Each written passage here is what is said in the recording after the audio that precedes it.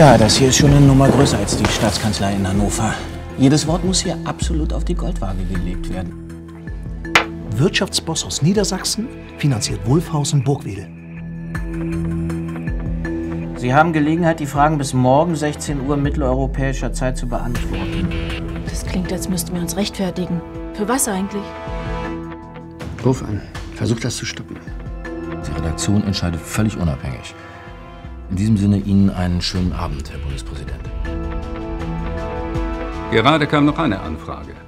Hat der Bundespräsident Gerkens in seiner Zeit als Ministerpräsident in Niedersachsen mit auf Dienstreisen ins Ausland genommen? Wenn ja, wie oft und in welcher Funktion? Das Problem ist die Kommunikation. Wir sind von Anfang an nie rechtzeitig über private Aktivitäten informiert worden.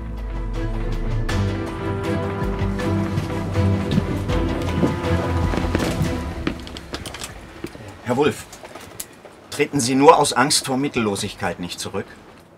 Wenn das einer rausfindet, dann wohl Sie. Ich darf Sie bitten, Ihr Herz für Italien zu öffnen. Sie glauben doch nicht ernsthaft, dass sich hier irgendjemand für Ihre Italienreise interessiert. Ich weiß, dass Sie mich nicht wegen Italien begleiten, wobei das sehr schade ist.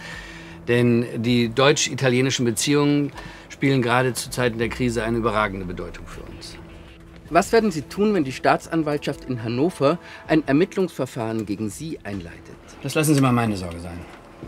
Vor juristischen Fragen hatte ich noch nie Angst. Wissen Sie noch, in welchen Scheinen Sie Herrn Gronewold das Hotelzimmer auf Sylt bezahlt haben? So, wir machen jetzt Schluss.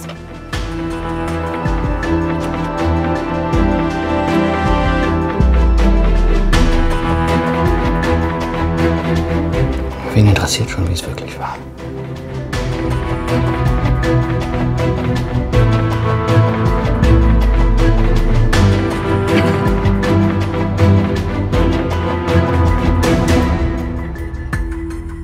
Guten Abend, Herr Dickmann. Ich rufe Sie aus Kuwait an.